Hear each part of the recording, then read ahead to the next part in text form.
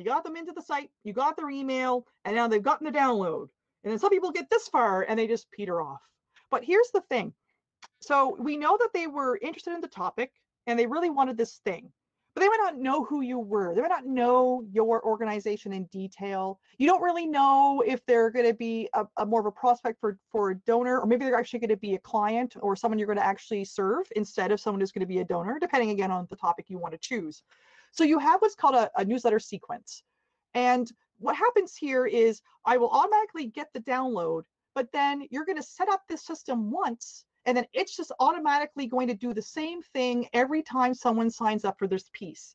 And the reason we do this is because we know that newsletter welcome, you might have heard them as a drip script or a drip campaign, might have heard them as a welcome sequence, new sequence. Their open rate for the entire sequence is 50%, whereas the average monthly or every two week newsletter is around 11% open rate. And the reason we know this is because people literally were like telling you, not only do I'm interested in this topic, I want the thing you gave me. I am currently actively in this mode about this topic. And so you can think to yourself, well, that's really great to say, Alison, but like who's going to sit down and write these? Drip scripts We'll write them for you. It is a free service. So Drip Scripts is free. It's not really a tool you use. It's just a, a collection of email pre-made templates that you can copy and paste into your mail platform of choosing. And they even have one here for new subscribers. And we'll just click it right click here, quick to see it. So in this one, they're suggesting you're going to send out five emails. You don't have to. You could send out all of two or three emails. So the first one, of course, is you you're going to get immediately, they're going to get the download and then they're going to get an email from you. And they even tell you in drip scripts the purpose of the email. And then they'll just give you some copy and subject lines and they give you some tips as it goes along. So here they're saying in your first email, you want to make sure the subscriber gets the thing that you said they would give them, just in case they didn't see it load up on the website or what have you. And also you're going to start priming them for what's next. So some things I recommend in this is they've gotten your download. This is a good time for you to do a very short introduction into who your organization is especially if they came in organically and they were searching for something specific like care for someone going through cancer. They might notice your logo and your link when they're searching but they don't really know who you are. And here's how you do it. If you expect people to download something and then go in like a day, like what website was I on two and a half weeks ago? Oh yeah, www.blah That's not going to work. It's better for you to start nurturing them about who you are.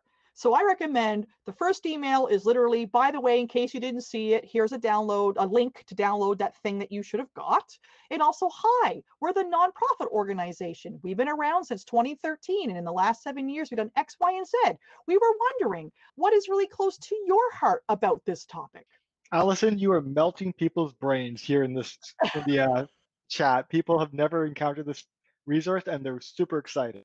It is. It's so cool. Now, this one in particular, I will say, folks, I find it a little salesy and like, hey, what's going on? Which is totally fine. You can edit this one. I just like, I find I like a starting point and then I will rewrite the whole thing to fit the, the, the language and voice.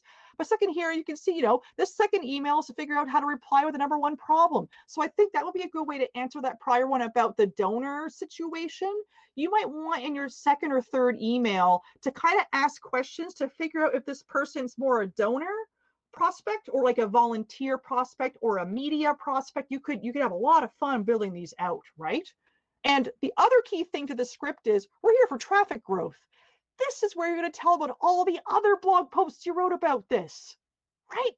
Like they only came to your website for one blog post, but now you're just reminding them three days later or a week later, hey, by the way, did you know we wrote four other great pieces about this? Or here's a story from one of our survivors, or here's something that we achieved last year that we were really proud of that was in the news.